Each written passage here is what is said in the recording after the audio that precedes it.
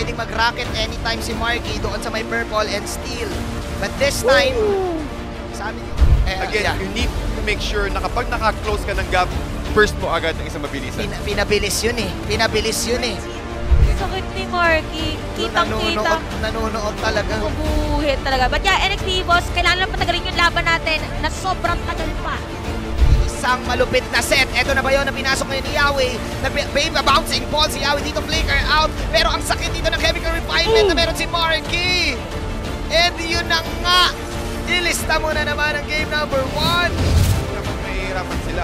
Well, 75 seconds para sa ating next objective. Pero kulado na kagad! Si Niyawi dito!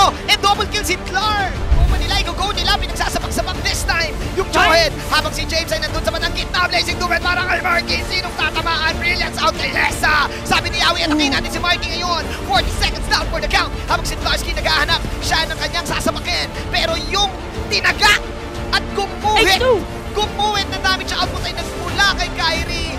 Iatang tumakas si James. Pinagtataga-taga na naman. Meanwhile, minions ang muna ang inaatake na Yelly Haze. Lahat sila dahil ayaw nila mawarak ang base. Yung brilliance ay kinanana. And syempre, umikot-ikot na yung mga bala ni Marky with a 5, 4, or wise. Oh!